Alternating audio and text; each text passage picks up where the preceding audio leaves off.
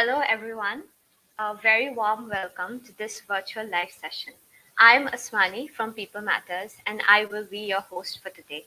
Before we begin, I would like to wish a very happy Women's Day. In order to celebrate this lovely day, People Matters and Sunstone Eduversity are excited and glad to present to you a power packed panel discussion on the topic Are You Empowering Women to Embrace Leadership Roles? The past few months have witnessed women leaders take great strides in driving incredible impact for the business community at large. From Leena Nair becoming the first ever woman CEO of Chanel to Falguni Nair kickstarting the IPO of her very own brand, Nykaa, making headlines. The time has come to expand such leadership opportunities to women at large. Organizations must recognize and elevate the potential they hold, and recruitment is one of the first steps in making this possible. With leading educational institutes investing great efforts in making learning opportunities accessible to all at different stages of their professional lives, recruiters have access to an expanded talent pool. And this expansion impacts the potential women hold and the role they can play in the growth and success of your organizations.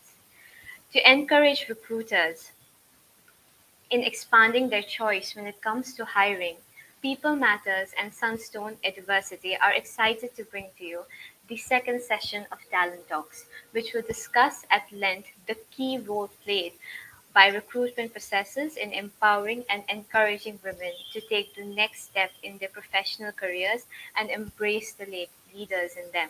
To facilitate the esteemed women panelists today, I would like to hand over the session for moderation to Alekhya Chakrabarti, Head of Marketing, Sunstone Eduversity. Alekhya Chakrabarti is the Head of Marketing at Sunstone Eduversity. With a career spanning 12 years, Alekhya has, expen- ex- has extensive experience of leading global innovations, communication, and brand management to his credit in large organizations such as Nestle, Unilever, and ITC. It's great to have you with us, Alekhya, and now over to you to introduce our panelists for the session. Thank you, Asmani. Thank you so much. And obviously, uh, to start off with a very, very happy Day to all of you who are watching this, and then also, you know, the really power packed panel that I'm about to introduce. Uh, thanks to everyone for People Matters as well for giving us the opportunity. Uh, so, without further ado, I would just like to introduce our first panelist for the day and for the session, Ekta Singh, CHRO at AG, AGS Health. Uh, she is the CHRO Global for AGS Health. In a role, she manages all the gamut of HR, CSR, D&I, branding, and communications responsibilities. She has more than 25 years of progressive experience in talent delivery, recruitment, talent management, benefits, compensation, staffing, diversity, and inclusion. Ekta, there is so much we need to talk about today, and, and, and I look forward to the chat. She started her career in the year 1996 with CMC Limited and has worked in India and abroad in organizations like Capgemini, Deloitte, RBS, Corpus, etc. She wears many hats and is a speaker, trainer, executive coach, writer, and thought leader. A very, very warm welcome to you, Ekta. Thank you so much. Next, I'd like to call upon Susan, Susan Matthew, HR lead business partner in India, R&D International at LinkedIn, a people-oriented uh, HR leader with strong leadership. Susan has business acumen and interpersonal skills that help her in driving organizational and talent strategies. She has extensive experience partnering with executive teams to analyze, determine, and implement HR solutions focused on achieving business results. She has been recognized as a quick learner and consistent high performer with a passion for building strong teams and acting as a mentor and coach to professionals as they grow their careers. Welcome to you, Susan. Thank you very much, Alekhya. And uh, International Women's Day wishes to all the women also on this uh, session today. Thank you for joining us. Great, great. And really looking forward to chatting with you as well. Uh, next, we have Shweta, Shweta Mishra, Director HR and Firm Compliance with Indus Valley Partners, HR professional with over 17 years of experience across industries like IT, finance, and consulting. Uh, Shweta has hands-on experience of an array of HR domains, including HR strategy, employee engagement, performance management, change management, talent and leadership development, business partnering, facilitation, content development, and diversity initiatives. In her current role, Shweta heads HR and compliance globally for a 600 plus strong fintech firm. A very warm welcome to you as well, Thank you, Alekhya. Uh, thank you for having me and uh, happy Women's Day to all the panelists here. Thank you. Super. Next, I'd like to call Babita, head HR at Edelweiss Finance, uh, and just, the you know the Power Pack panel just gets stronger and stronger.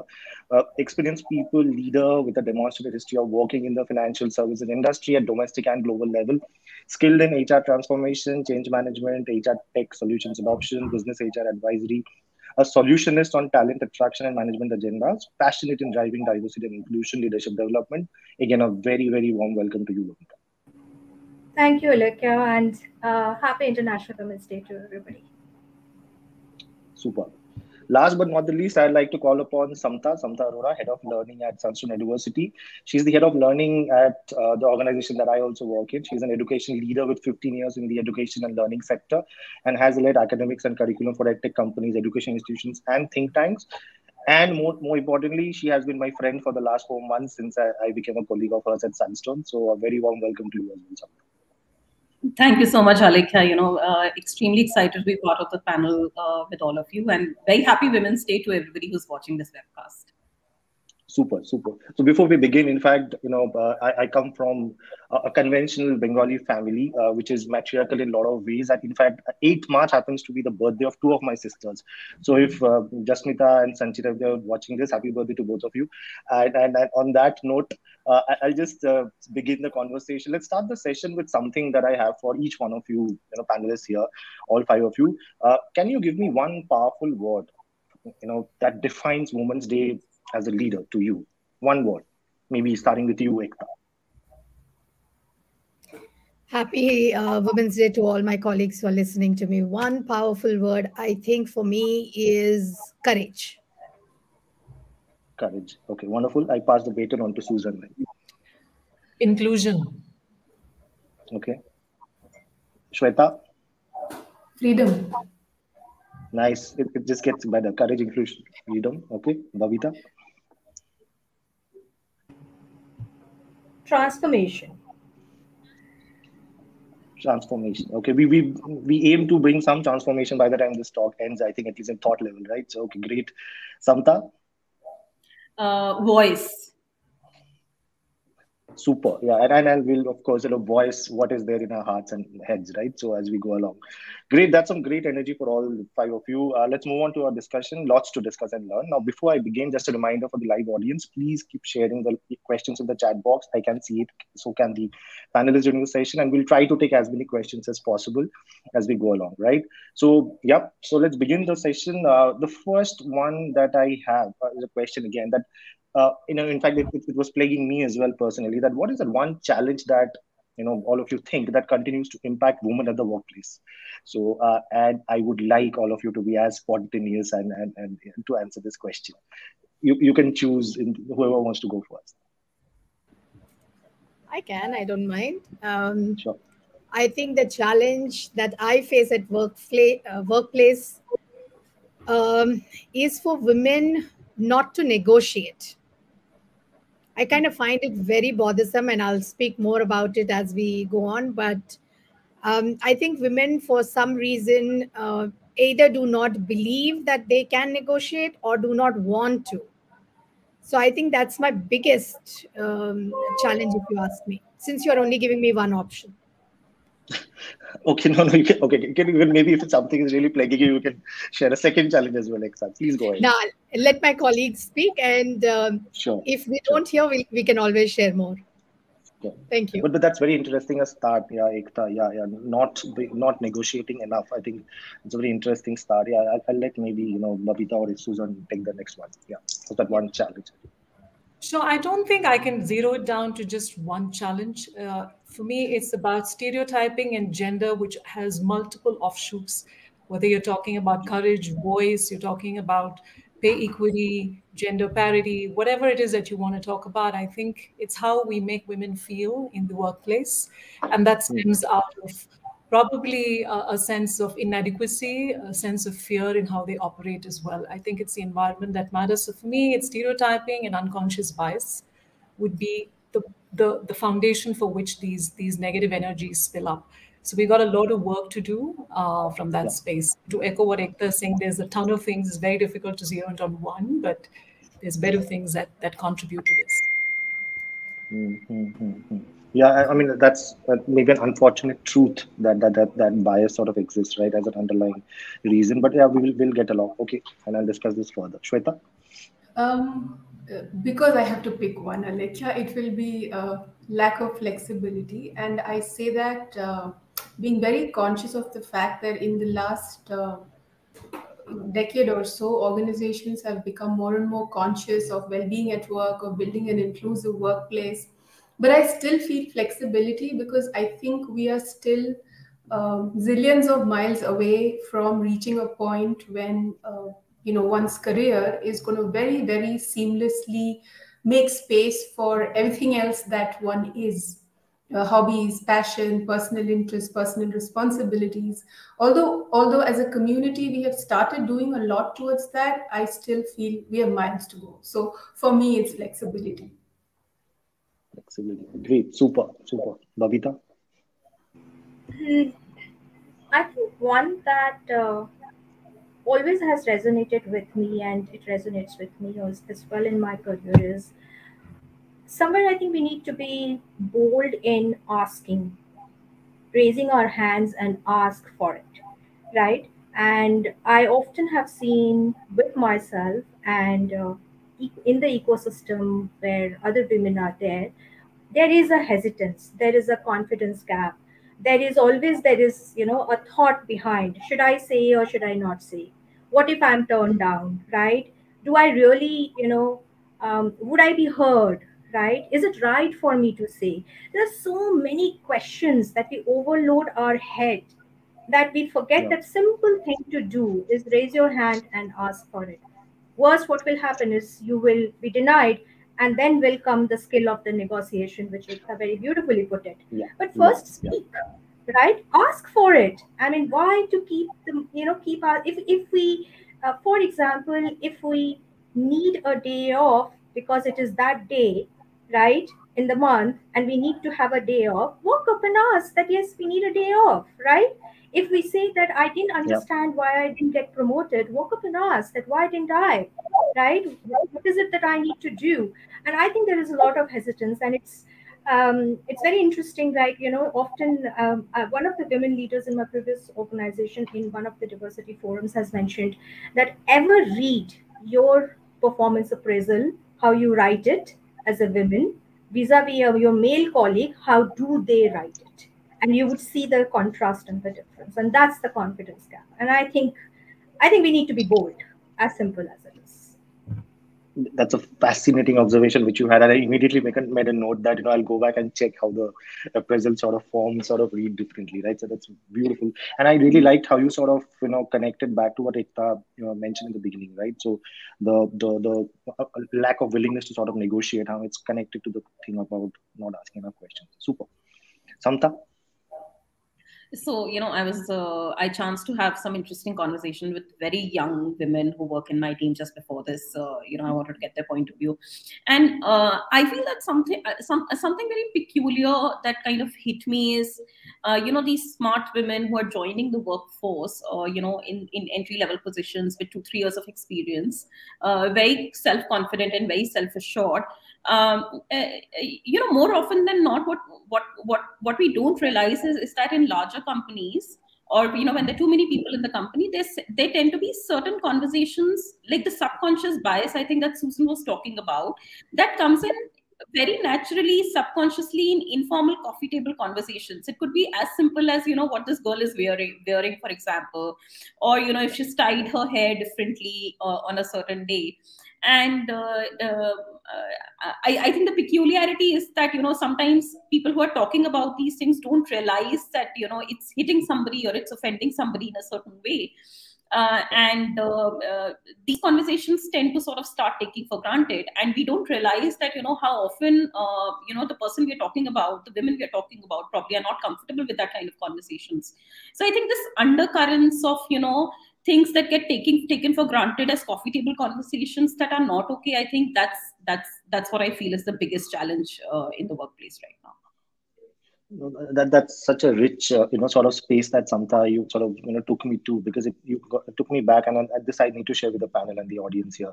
At one point in my career, I was managing this brand which took a point of view in the domain of women empowerment to sort of challenge the conditioning that sort of affect the society around us, which sort of you know manifests itself into the different compromises that we end up making, right? And which probably leads to the bias that's there. And then the small, small things which people don't realize, but it's a you know sum total and the result of all the conditioning that has sort of happened since they were kids. So fascinating space and the reality which unfortunately exists. So couldn't agree more with you, Samta. Cool. So, uh, but moving on, I think Ekta, I have a question for you. So, uh, when do you see women professionals sort of leaving their job, and you know, what can we do to prevent it? Maybe. Yeah, that's a uh, interesting question, and um, one that I think I'll take a few minutes, unlike my previous one, to explain. Um, I'm confident that all the people who are listening, irrespective of the gender, will realize and recognize that it's not one time suddenly that you know women just up and about and leave, right? There are stages. So most organizations, I can confidently say, probably at entry level are at least in the technology space, perhaps hiring 40 plus percent of women. Many organizations I know are equal, 50 50. Like my current organization, we hire 50% women at entry level for sure. Now, what happens though when you go to leadership that in many or most reports that we read or organizations is less than 15%. So, where do the women fall off? Um, I think the first is I'm going to tie it back to the negotiation. The first is when women tend to get married. I have no idea why, but especially in India, and since I've worked uh, globally, I can say, especially in India, um, it's always assumed that the woman is going to give up her career, right? She's going to relocate if the person is not in the same um, city or country. Why? I have no clue. Why do we not sit down and have a dialogue of why should I be the one quitting? Why shouldn't you be the one have you know relocating? So that's one first place where I think um, we tend to organizations tend to have attrition. Lifestyle, right? Second milestone in women's life typically is when they become mothers. So motherhood again um, there's an expectation and I'll, I'll, share my story there's an expectation always that women will um, many many times i've had conversations where women say hey um, i have to dedicate this time for my child. And yeah that's a choice probably some of us will take. And some of us will say hey you know what? I'm going to continue being a mother. My philosophy um, is that i can balance both. Um, i think my daughter just gave me a beautiful card this morning which kind of made my day. She said i'm the best mother in the world. I'm confident each of our kids do feel that we are the best mothers. I mean I thought my mother was the best in the world. I mean, who doesn't? Um, having said that, it is a very powerful thing the way she drew me. You know, I mean, she did a sketch, and the way she drew me was actually with a bag leaving the house, which is typically me. You know, I'm I'm traveling three weeks in a in a month. In COVID, I stayed home, so I hopefully bonded with her. Uh, but I made the conscious choice not to leave workplace. That's the second stage of women's career where many people instead i sat down and actually had a conversation with my husband and he was the one who said you know what? Let's build the support system. Let's not let you not give up. Let's find someone to take care of the child. Let's make sure you know your parents live close by my family lives nearby have your friend circle etc so i think we need to invest in that. The third i think is when the children are a wee bit older and their education high school etc comes into play again, um, I've seen quite a few, um, you know, women tend to leave at that stage or elder care.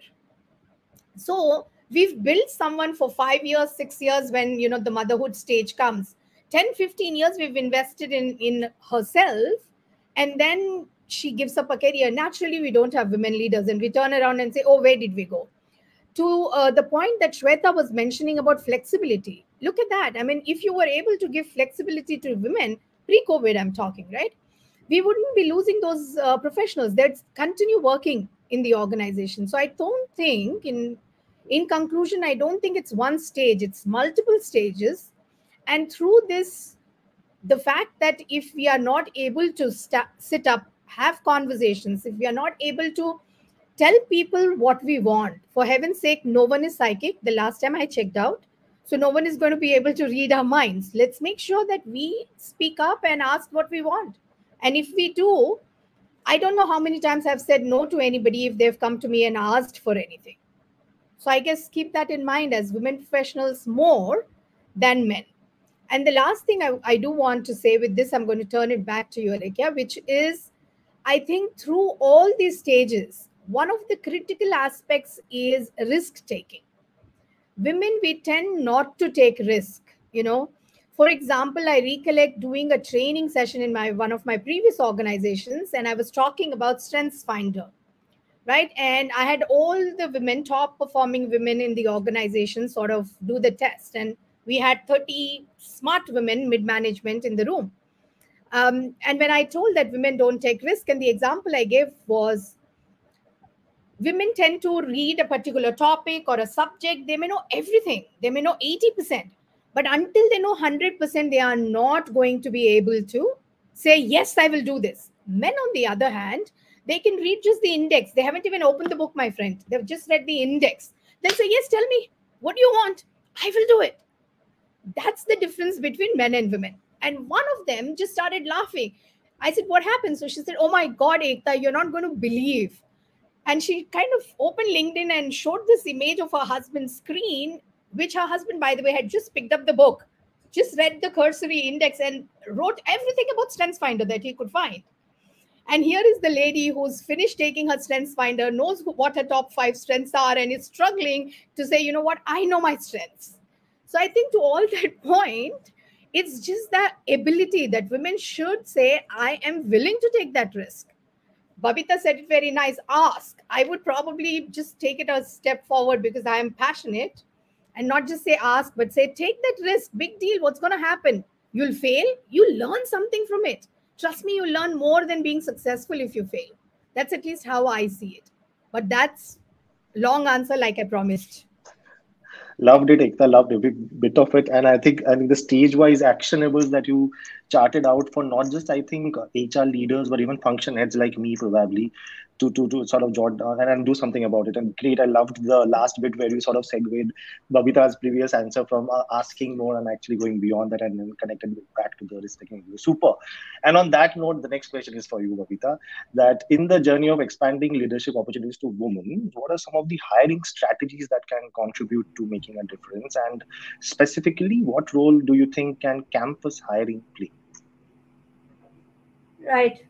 Hmm, interesting question because I think we have been asking this question for very many years, right? And still the needle has not moved across the levels, and I'm sure that's true even today. Um, however, in last couple of years, when you look at the hiring strategy, I think people have become bit more creative, bit aware. And I'll segment this answer into three parts. One is that what do we do when we go into talent attraction bit of it? Second is the process. Third is the culture, right? Now, if you look at the talent attraction, right, you will find that a lot of organizations will have talent uh, value proposition. Yet to see women talent value proposition. And a women talent value proposition would look little different than your overall umbrella of talent value proposition because in there you will bring in women leaders and the male allies to talk about that what does inclusion and diversity means in your organization? What does the representation across the levels means? How your process and policies are inclusive right? Who are some of the leaders who have advanced in that organization for very many years? What are the typical niche roles where you have women representation? That gives the confidence for the women in the market to say, hey, this is an organization where women are thriving, just not surviving. I might as well not screen myself out while applying. You know, in the previous answer, I was talking about the confidence gap. And what it leads to is that women themselves screen themselves out on application so if you ever see the recruitment funnel, the your biggest drop is at the application level. If the application is in and you know then the interview stage, high chances of women getting selected for the role, right? So that's that's the on the attraction bit of it. I'll add second point to the attraction is that um and it, it's kind of a, a kind of a dream project if ever I could get to do is and I've done it in some bits and part of it where the organizations can come together, create a forum, right? Invite women, working women, women taking career breaks, so and so forth, and impart those skills and the bites of the confidence, mentoring, so and so forth. The network, networking is a you know very uh, uh, alien subject for the women. Very difficult for women to network. If the woman is not an extrovert and has an uh, you know personality where they can say hi to anybody and so and so forth, very very difficult. Men do it like this, right? Now, if you talk about those bit of a skills and bridge that confidence gap in a, and it would require a concentrated effort of many organizations coming together and doing that, we will shorten that confidence gap and again increase the pipeline. The idea is to increase the pipeline, increase the candidate slate, right? Now, let me touch two points on the process bit of it. First is the job descriptions. Still, there are job descriptions which uses the word like you have to be assertive communicator right? You have to be like ninja code cracker or code developer so and so forth. Women don't relate to these words. These are very male words. This is this is like male psychology versus women's psychology right now there is a lot of technology in the market which kind of you know weeds out those kind of a language and brings in the inclusive language in job description. We have to make a little bit more effort. Like my first effort was in an uh, in a job description what i had read he should do this this. I said what do you mean by he should do this this? Are you really saying in the job description you are inviting only male uh, you know applicants? No right? But when the uh, when, when the manager was writing the job description, see how the, how the how the psychological effect is. That person didn't realize that he was writing he. It just happened unconsciously that he should do something while he was okay to hire even a woman, right? So we, I think, need to be a little bit more alert on that piece of it. Um, third on the culture is that um, in every people practice, specifically the hiring, however, may we say that there are certain biases which comes up biases comes up when we interview. Biases comes up when we look at the you know education profile of the women candidate or the experience so and so forth. We have to take a little bit of an extra step to train our managers you know uncovering those biases whether it's conscious or unconscious. And be uh, and, and have a panel which is a little diverse panel because when you have women in an interview panel it brings a little different kind of a perspective as well. So there are those couple of and there is no one single strategy which will work it has to be a combination of multiple things at multiple stage in the entire hiring um, end-to-end process right? Uh, that will help us to kind of you know strengthen the pipeline than what we see.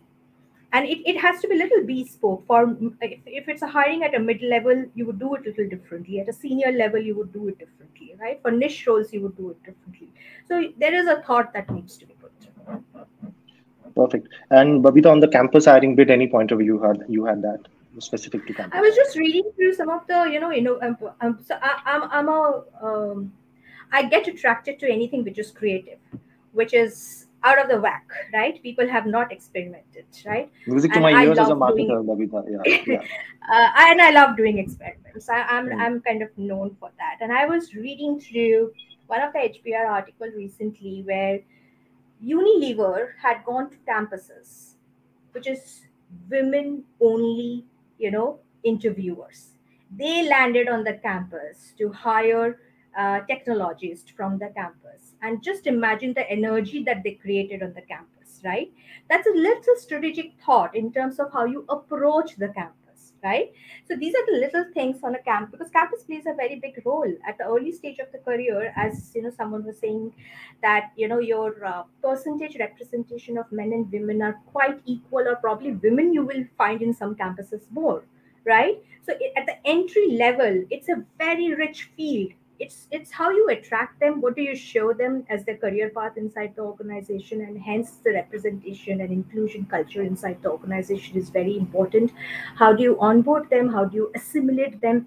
That will ensure that how many of your campus hires really grew in the career path in the organization. So that's that's where i see campus playing a very very huge role super super super helpful and and you know as we sort of plan our next season's campus hiring uh, you know strategies i think this is a great input which we can use as well for ourselves cool uh, shweta uh, one question for you next what are the challenges that you think are faced by women in the business community that can be overcome with the right recruitment strategy especially when you know when you are again hiring from campus? Any other challenges that you sort of uh, you know foresee that you have seen over the years? Sure. So uh, first answering the first part of your question challenges that uh, you know women face i think most of it has been touched upon by many of us uh, here by few of us here particularly but i think top of the mind um, biases uh, or stereotypes. Second uh, one thing lack of policies for caregiving support. I think that's a second challenge because in most of the cases, women are the primary caregivers uh, in their families. Uh, third, uh, lack of sponsorship of leadership roles. That's a third one. I think that kind of ties to uh, Ekta's observation that uh, many times they drop out at or they drop off at the senior leadership uh, roles. and the fourth one that I can think of is lack of a conscious intention to build an inclusive workplace. I think these four strike me as some of the you know the challenges that most women employees feel face. Um, coming to the second part of your question Alekhya as to what is it that we can do with recruitment strategy to address this particularly in the campus perspective i just want to uh, clarify one thing and that's my observation. Um, i think that recruitment or campus recruitment for that matter uh, mostly and fundamentally addresses one aspect of diversity, which is representation. You know, percentage representation of genders across roles. But that said, I will take up the question what can we do in terms of hiring strategy? I think the first question that we need to ask ourselves is who is hiring? Who's hiring? Look at your recruiters. Do your recruiters have a clear understanding of what is your diversity agenda? Are they bought in into your diversity agenda? Do, do they have personal conviction around it? Because those are the individuals who are actually interacting with uh, the potential candidates for your organization. So i think that's the first one. Second thing which has already been touched upon by babita in bits and pieces of course is the overall communication piece. What are the communication touch points with uh, campuses? Um, the conversations with the campus placement individual, the uh, presentations we go and make in campuses, how much of that content is about your organization being a woman friendly workplace? How much of that communication is about your diversity agenda? How much of that communication really showcases you as a well being focused employer? That's the second point. My third point is um, how are you representing your firm or your organization on your website in the media? Do you come across, do you come through to a layperson as an organization that is that is accommodative of women, of women's needs, that is passionate about diversity? So that's the third point. Um, fourth, I think uh, the job description. I think we spoke about it. It's a very tactical point, but the way job descriptions are drafted, um, is there scope for mentioning how flexible you want to be, how open you are to hiring across genders? That's that's one thing. I want to go back to one question you had asked earlier and tie back this question to that. You had asked a question about, you know, where exactly do women drop out, you know? In my observation, I, I have seen three points where women drop out. One is purely biological, maternity leave, and then they don't come back. Uh, second one is when all of a sudden or with time the nature of a job role changes. There's more travel required. There's more salesmanship required you know stuff like that. The third one is at senior leadership roles. Now we come back to recruitment. In your recruitment strategy in your communication piece do you have personal stories to convince a potential female candidate that these stages in your life are addressed and are taken care of? So stories stories of women employees where you can very clearly show them a path that these points in your life are taken care of. I think these are some of the things that I can uh, think of for now. Shweta, I genuinely loved a couple of the anecdotes that you mentioned, especially, and it took me back to a couple of my experience. And I will ask a follow up question to the panel here, including you. Like you mentioned about, uh, you know, preparing for the interview. I think the interviewer should also prepare, right? So, and, and sort of uh, check for the biases. One of my previous organizations actually made us go through a rigorous one week exercise before we went to the campuses to hire. And D&I checks were one of the things that I remember as one of the distinct sections. in those internal tests that we had to pass before we went to the campuses. Any such anecdotes that you remember as interviewers, as recruiters, uh, that sort of you know can be helpful for for you know people watching us or in general as an advice to prepare for the pre- interview. Yeah. Sure, sure. Um, I think that um, you know the most important thing is that um, in terms of recruiter and interviewer training, I would say it's more training, it's less training and more psychological alignment. It is not in my control uh, as a function head to get in people with uh, exactly the same kind of thinking that I have because each one's entitled to their own sort of thinking. But I think the responsibility of alignment, the responsibility of alignment definitely lies with people who are the decision makers. Um, one thing i can one thing i can definitely think of is actually I, I i mean i can't get into details but one time when i was actually hiring for a role i remember one of my recruiters corrected me and it was a very humbling experience. I didn't realize that unconsciously i was actually following a stereotype and that position wasn't getting closed. And she's still a part of my team and she corrected me and she said shweta just interview this person. And i interviewed the person and she was right. So it's it's it's very easy to be judgmental about stereotypes but we have to also sit back and acknowledge that we all operate from our own stereotypes. You will have a kind of stereotype in your head i have a different kind and that's all dictated by our experience.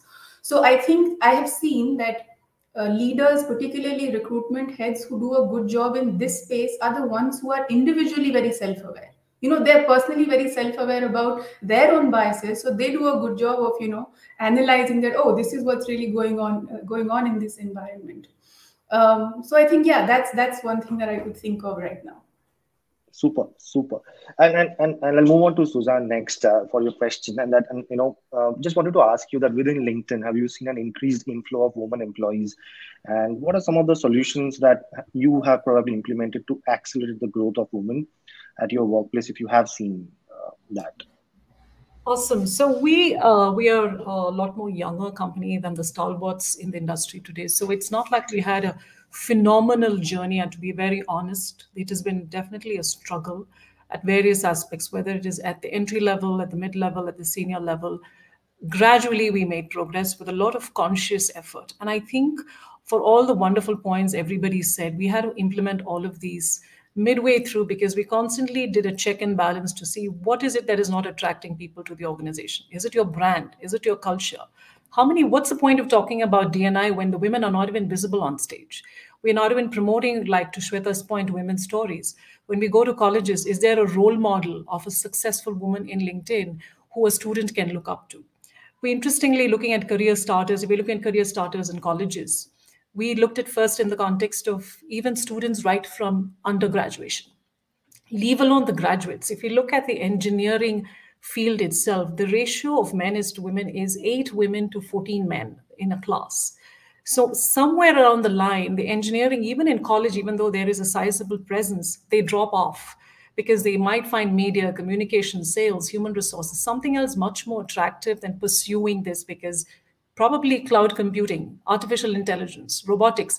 Maybe that is not an area of interest that they want. So how do you bring in to inculcate that your STEM that you're talking about is science, maths, all of that is actually worth pursuing as a career. So we started with schools. So we started engaging with schools at very uh, in the UG category, or if you in some schools it's still 11th and 12th, where we went a conscious effort to kind of mentor and coach students on how to pick a subject and what is it would my career look like what do I pursue? And the more you start talking to women leaders, uh, it was a difficult. It was definitely difficult to get them into it. That was the first part. The other thing is, how do I change the allyship or the mental makeup of men to actually accept that I have to go forth and bring in diversity? Because my organization is largely male oriented to begin with. So, how do I change that mindset? So, working with them very closely because it's a question of understanding. It's not about resistance to change, it's about understanding and getting the more personalized examples and saying why it is important to have a diverse thought process in the organization. So, getting the allyship of our male colleagues. So, every intervention that we do to increase you know, presence of representation, we have allies in our organization. We ensure that the men participate just as good, just like how today you are doing this panel discussion, Alekhya. So it is it is it is fantastic that you know we're having that gender diversity here as well. So important to get that allyship. So over time, with a lot of, of course, there was recruitment playing a very important role, specific branding initiatives, specific hackathon events. If it's an engineering field, it's, you know, engineers love hacks. So, you know, we had specifically one for women alone. We have, we, you may want to call it a quota system, but at least at the end of the day, there is a concerted effort to ensure that in your pipelining, what Babita was talking about, in your pipelining, there are applicants and the most important thing is we don't stop with the applicants to understand why is the application not converting into hiring? Where are they dropping off? Is it coding? Is it interview stage? What is your interview panel looking like? Uh, yes, JD, great. They came in, but how are you making them feel comfortable? If it's an all male panel, it puts the woman on the spot. Are you having a diverse panel to ask the right questions? Are there, you, you asked about, is there a training program that keeps done? We do something called interviewing for our managers.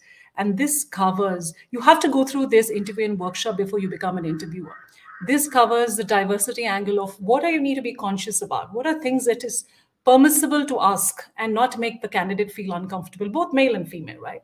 So I think we had to do multiple areas of interventions while we're doing the policy interventions, we had to do our recruitment interventions to make it more universally and diversity friendly. And at the same time, we have to focus on career progression and investing in the women that are already in the system. Now, it's once you bring them in, the question is how do we retain and continue progression in their careers? So, where is the conversation? Are women is the pay is there a pay equity problem in the organization? Is there a promotion where people are given equitable opportunities or only the quiet ones uh, get left behind as we say or the ones who don't ask don't get a promotion?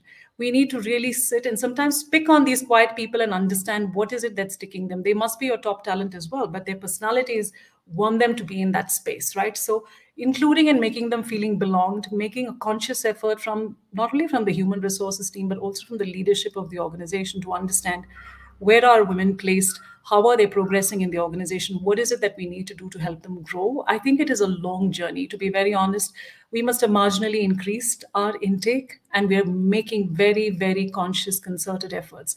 It was nice to say that when shweta said that someone reminded her right that she was slipping the track we ourselves do that. We are we we we, we judge ourselves. And i think one of the biggest challenges i've also seen is women supporting women it's a very important part. We we are very we are very successful in our field. We fight for it, but we got to uplift our community as well along with us because we are also helping them to become change agents. So I think multiple factors, uh, right from coaching, mentoring, developing, hiring. I think we tried and did multiple interventions that can increase the presence of women representation in the organization, and it's it's still a long journey so much to ask and so little time. I'm, I'm, like like what you just mentioned. There are so many questions that you know I had just jotted down, but I need to move on to ask this next question. I need to ask to Samta. So I think if you realize Samta, what what the other four on the panel were saying, right down to Susanna, that so much of recruitment, the right recruitment has to do with finding the right talent, right, and and, and that gets conditioned in the education stage in the education institutes itself right? So and since you are a doyen in the education fraternity how what's what's it, you know your thought that how can educational institutes sort of empower women with the right skill sets so that they can fight on an equal footing in the when they do enter the job market and in the workplace? I just wanted to know that. Sure Thanks, Alekhya. Um, uh, you know, uh, I, I, think a lot has been talked about, you know, the storytelling and the narrative bit. And, you know, I was just thinking about it, and two instances come to my mind. You know, uh, I, uh, we all studied history in our school and we used to hate it. And, you know, I remember there was a particular chapter in history which talked about women in history right so uh, the point that you know i'm trying to make is that you know there are so less women role models to talk about that one has to consciously bring in a chapter to talk about at least those four five women so that you know there is some perception of inclusion right uh, so that's very interesting. And you know, uh, um, uh, I remember one month ago we started this. Uh, you know, because you know we work with the students who come typically from a tier two, tier three university universities, and we had started a, a, a, sort of a news digest for for our students, which go, goes out on Sunday. So my designer kind of made the digest, and we sent sent out two editions of it, and then immediately after that, I hired a women designer in my team, and right till now there were two two men designers And suddenly she noticed, she's like, the news digest that's going out has a man as a mascot on the first page. Why is it not a woman as a mascot? And you know, the first thing she changed within two two days she joined is she just changed the design of that newsletter. And the first, the cover page of that newsletter letter became a, you know, like a woman mascot saying that, okay, I'm going to bring you uh, news updates every every every Sunday right? So these are these are really interesting sort of two instances that sort of uh, you know i want i want to bring in as to you know how we how how we talk about you know how do we empower women in the uh, in the institutions? Because most often than not we tend to emulate in the early entry uh, in the entry level of a career we tend to emulate the skills and you know the kind of narratives we've been sort of groomed in as part of the education program. And that is what is completely missing right now. You know there there's a lot of gender diversity but really you know let's be honest we're talking only you know very premier tier 1 institutions are the ones who are talking about it. Uh, we can't even imagine the issues that you know the women uh, in tier when it comes to tier 2 tier 2 and tier, tier 3 cities what they kind of go through. I'm extremely sorry. Uh, so i think i think i think three things uh, three things that we must definitely do. One is that how do we bring in uh, really the narrative and how do we bring in women as role models in the curriculum itself? So how do we integrate them? How do we tell stories about you know successful women what they go through what does success look like? What are the kind of obstacles they face uh, uh, you know in their journey to success? So definitely you know integrating more role models and narratives and stories of successful women in the curriculum is wise one. Uh, the second thing is uh, uh, you know the second thing is that a lot of women when it comes to workplace they struggle to have a voice and they struggle to talk about you know very simple issues. Like you know we were talking about you know menstrual leave for example. Like you know it's it's so painful i can't come to office but it's difficult to talk about and to ask ask that right? So i think just enabling these kind of open spaces as part of the education as part of the institutions you know if we if we get if, if we make it a norm that it's okay to talk about this in the education institutions they will probably not even think twice before let's say Alekhya coming to you and saying listen i'm not feeling well today and you know i just want to stay home. And it's as simple as that right? I don't need to go see a doctor i just need to rest right? So i think that's the second thing. And the, and the third bit is really um, you know something that i noticed in one of the campuses i was visiting one of our campuses i was visiting is really how do we start with women representation at the level of the classroom itself and uh, you know i happened to uh, i happened to I, I, happened to go to two three colleges last month. And uh, in one of the classrooms i observed that the the head of the classroom or the class monitor were two women. And in other place i observed there were two men. And when you sit through those classrooms those classrooms function very different differently. The discipline is very different. I mean the seriousness and you know the kind of the substance that comes in okay you need to start the class in time and you know this is how the class is going to run that changes completely. And you know we're talking about workplace but you really start seeing that at the level of you know classroom when they're when they're in the first year second year third year. So i think these are really important things that you know how do we start making some of these things as a norm while they're studying so that you know let's so so that it doesn't even strike them twice when they actually enter the workplace that you know how do we talk about issues or you know um, how do we think of women role models? So i think some of these changes is what we need to start at the level of you know uh, higher education i would even say k-12 earlier got than it, that super super super sharp answer Samta, as always. And uh, ekta and Suzanne, i have a question for the two of you and, and if you want to react to the last question as well that how can opportunities for leadership uh, be expanded towards new recruits to bridge the gap that might remain? I think that's a nice segue from the campus sort of initiating stage. So corresponding to leadership what's your perspective ekta Suzanne, if you both of you one of you want to go ahead? And if you want to react to the last part as well on campus. Yeah. Yeah, yeah i'd love to Suzanne if uh, is okay with with you so, uh, first things first, I think the mind shift change has to happen at education. It cannot happen at workplace. Let's be practical. Um, yes, we will mold them at workplace, but a lot of damage, if I may use the word, is already done when we are going through the education system here in India. It is forcing us to, you know, be very competitive, uh, but not necessarily teach you life skills. It's just academic skills teamwork only comes when you know you come to probably an mba kind of a platform or program. Now i recollect going to campus and asking this question and even in virtual mode because you can see all of you know all the participants i asked this question in a very interesting manner which is how many of the students that are listening in today have both their parents working? Both their parents working typically it's less than 10% of the class that raises the hand. Both the parents working is the question. It's not job. Just 10% so the remaining 90% have only one parent that's working working all right?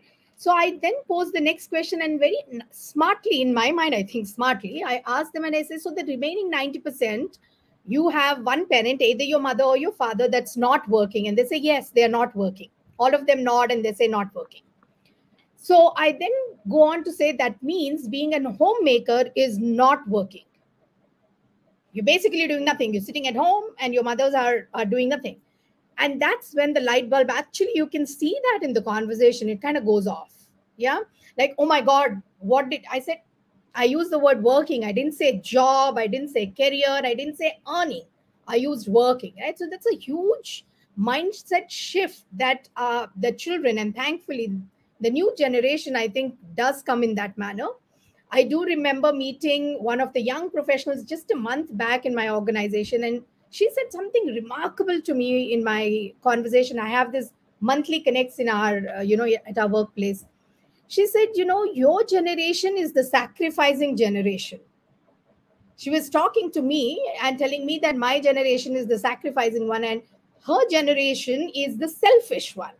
I loved it. I loved the fact that she was able to own that decision and say, I am going to be selfish. It is my life, my career, my choice. I love the fact that somebody who's 22, 23 years old already has got that figured out. I mean, imagine that, right? I wasn't that smart at 22, 23. I can guarantee you. Now, none of us were. Thank goodness. Um, now, coming to the question of leadership, I think it's a lot about um, the first question you asked us. if we were able to break that, I think leadership is formed. You know, the unconscious biases, the negotiation, the flexibility, you break that and you get leadership, in my view, right? Leadership is not about a role, a grade in the organization. It's not. To me, leadership is about accountability, leadership is about ownership. It could just be even a fresh young talent from campus that we've hired shows accountability and says, I'm going to get this done. And I don't have to chase, I don't have to follow up. That's leadership for me. I mean, I trade that person any day vis a vis, let's say, a leader in the organization by designation, but someone that I assign a task and someone who is not proactive, doesn't come and you know share details to me that's not leadership so three key attributes being proactive being accountable and having ownership, I think, to me, is leadership. How can women do that? By simply raising their hand before a question is asked. That's how I'd put it, probably. Yeah, yeah I, I, like how it, you sort of closed the loop and came back to your first answer that you know negotiate and, and sort of yeah I, so, so loved it. I swear that's really critical, and my husband taught me how to negotiate. FYI, so hey. right, right right suzanne now yeah i think you, i am awaiting your answer on this as well your take on this and i'll just combine one of the audience question and slowly guys i'll just bring in the audience questions as well and in fact there's a specific question for you suzanne so two questions for you to answer apart from the leadership hiring bit can you help with some examples of how you encourage the women candidates at linkedin to help them climb up the leadership ladder without any bias and by the way, I really like your background of LinkedIn, which has pretty di- good diverse symbols. And I think this is good. Yes, I'm glad you can see it that close. but anyway, I loved Ekta's passion on negotiation. I must say, we are all great negotiations when it comes to vegetables and shopping. So let's not be little women about that. We're solid in that. Uh, but from the context of what she said, I mean, I don't want to keep repeating because everything is absolutely valid. I think also teaching women at a very young age about failure is very important. Also saying that you know there are a lot of people who say how does how does my mom or dad reach this elevated leadership position in the organization? How do my mentors you know get so successful or my coaches or my professors or whoever is in a leading team? But teaching them how that they will face hardships throughout the way right? They will face biases. They will face pushbacks and not to run away and how do you fight that over to keep coming back is a very important lesson that during their career journey so career coaching for young campus recruits is a very important one. Understanding with real life examples what is probably by the time they reach their employable age or environment, it'll be very different. Things might hopefully be much easier. But I think giving them that coach, giving them individual mentorship, dedicated corporate mentorship where they're actually people are coming, visiting them, spending time with them, talking to them about careers and how they take it, I think they get a perspective about leaders because leaders are humans themselves. They could be personified with a different, with a title, with a name, with with kind of things that we see on probably on our OTT platforms. I mean, that's not necessarily leadership, but we they have to kind of experience what is le- real leadership. So sending them for kind of coaching and mentoring sessions with organizations, which we've tried on several occasions, does help if you want to start young and and take them through their journey of hardship. Definitely, for sure. Now, to coming back to the second question on, I think somebody by name Arjun had asked that question. I am Arjun, I'm not going to say that there is not going to be bias because a lot of sometimes the bias about a person becoming a leader is also within themselves. The lack of confidence, uh, the voices what Babita, Ekta, and Samantha kept saying about negotiation, asking, wanting to fight up, wanting to be heard, wanting to be seen is a very important part. You have to be driven. And as a woman, I'm sorry, but we will have some challenges in life all the time because it's not possible to change the world in the way people think. There will be stereotypical situations of probably motherhood, family situations, compromises. For every compromise that we're doing with our family, the question is do I have to give up on my family situation in order to become a leader, or vice versa, right? So, what happens is you take a backseat and say, let me prioritize my family over my leadership ambitions. Now, that's where someone needs to coach them to come out and say no i have to try and see how can i balance the two? Can an organization help me balance the two? So i think what we would do at linkedin is typically we ask these very pertinent questions. And when i say ask i think it's a responsibility of a business leader. It's a responsibility of the head of an organization. It's a responsibility of human resources as well to ask people who make these decisions look at your list of people who are promoted. Where are the women here why is this individual not going up the value chain? What is it that we need to help? What kind of investment in terms of learning coaching training flexibility what can we offer? So it is a very very deep conversation that we have to have. And periodically without losing momentum we have to keep doing it over and over again because some things just get forgotten. So I think specific focus on helping women to get out of their comfort zone, out of their difficult zone, coming out into the open, speaking up, voicing their views, participating equally. Because I will tell you a very quick story. When you talk a lot, when a woman speaks loudly or us, she's seen as aggressive. But when a man uh, speaks, it's sometimes seen as respectful. And I've seen that myself in my career as well. You're termed as aggressive because your voice an opinion, right? But keeping that bias behind and coming forward is a very important aspect. So I think a lot of investment on career progression, a lot of investment on coaching and encouragement and providing the absolute perfect environment in terms of flexibility for them to work, you will definitely see women flourish. And I've heard fantastic stories from be it from banking sectors or from FMCG leaders across, you can name some of the leaders who've gone through a lot of hardship those days, which was even more difficult. Today, I think we have women leaders in organization who are encouraging diversity and inclusion. So getting those leadership positions should not be tough, but it's about you should want it and you should work for it and you should ask for it as well. And we can support that system for sure. Perfect. Um, Babita, coming to you next. So, what, and then sort of this is a question I'll now go around the room asking each one of you. What's that one advice you would like to share with fellow women leaders linked to your own personal journey in the HR community?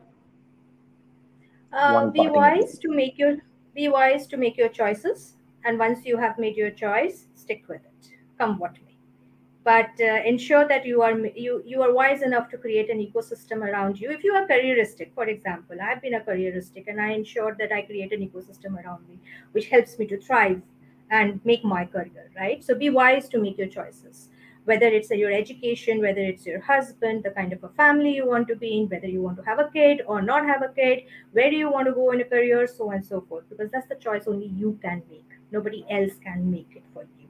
And once you have made it ensure that you you know you you are not leaving any stone unturned to really get get what you want. Super. Shweta? Same question yeah. Your take sure, one advice sure. yeah. Um, my advice is do not enter your careers with a prejudice that it's tough out there for women by default because if you enter your careers and approach your careers with an existing prejudice, you will miss out on the opportunities and the people who are there to support you. So approach it with clarity in terms of your own goals. Take a stand, speak your mind, experience your journey. And one additional thing to keep in mind to succeed, it's not it's not necessary to give up on your feminine traits. Empathy, intuition, and sensitivity are very crucial to success and they are enablers. So, yeah, those are two advices, but that's what I could think of from my own personal experience. I, am so thankful to you for adding the second, but I, I, could identify with it very strongly as a marketer. Yeah. So, Samta, your take on this. So, like, you know, I also have two, but I'll be very quick. I think one is that, you know, I, I heard a phrase called bringing up the elevator. Uh, you know, which is once you have reached, uh, you know, a certain leadership role, it's it's it's it's kind of our job as leaders to sort of take the elevator down and really bring up women in that elevator and that's one i think the second the second point and something that's repeated is you know uh, uh, i think i think one advice to women leaders and you know smart women entering the system is that you know we, will encounter two kinds of men like you know three kinds of men. One, one is set of men who are natural allies you know who understands your agenda. But you know there are there are men who are just on the fence you know even the most well intentioned men sometimes are so sort of you know uh, tied by the bias that all they need is some kind of a nudge or somebody to educate them and uh, uh, so just go out and educate the men around you because the more allies that we have in the environment and uh, i think my advice is that you know don't judge men just by the initial reaction but just go out of your way and create allies uh, and add to this whole community. Super super. Ekta your take on the last parting advice I think I'm going to stick with what I'm very passionate about, um, which is I think women should strive to to have negotiations. I keep saying that, which in turn is going to give them financial independence. I think if women have that, um, they can actually do everything else. It pretty much falls into place. That was one of the things my mom told me when I was in high school. She said, you should never be like me that you have to ask your father or your husband or your brother. Thankfully, we didn't have brothers for money. So I have today reached a stage where others ask me, and I'm like, oh, totally cool about it. So, yeah, to me, financial independence, I think, is what message I'll give to women, and that will start everywhere. Excellent. And I like the specificity of that advice and the relevance of it. Loved it. Suzanne, lastly, you, your, your, your advice my advice is women don't forget the other women. They don't have to go through what you went through. Be there for them. Take them through their journey. Let it happen let it be easier for them as well. So it's advice for everyone to take your sisters in arms along with you into that journey and and you know show them the way so loved it and i think i'll connect it back to one of the pointers that i think babita mentioned before she left that on networking right? The need for uh, networking and how it's even more relevant for this cohort right? So uh, yeah and then I, I think a, a, great point again and thank you everyone for the you know the, the, participation and then absolutely enthralling session. I have like a couple of pages full of notes genuinely speaking and i'm sure the, the, the audience watching us also had lots lots to you know take home from this. And thanks to the audience as well for the questions for sharing the insights. Uh, now you know, I would like to hand it over back to Asmani for the closing closure of the session. Thank you so much, Alekhya, and thank you to the lovely ladies, Ekta, Susan, Babita, Shweta, and Samta for helping answer the big question of women empowerment in leadership roles. With this, we are going to wrap up today's session. It has been a pleasure hosting you all. We would also like to thank our partner, Sunstone Eduversity, and our esteemed panelists for the invaluable information they have shared with us today. Please share your feedback with us in the link shared in the chat window as your feedback matters. Do stay tuned for uh, do stay tuned to your inbox for details on our next session as part of Talent Talks in partnership with Sunstone Eduversity. Have a great day ahead and a very happy Women's Day and stay safe. Thank you. Thank you. Thank you.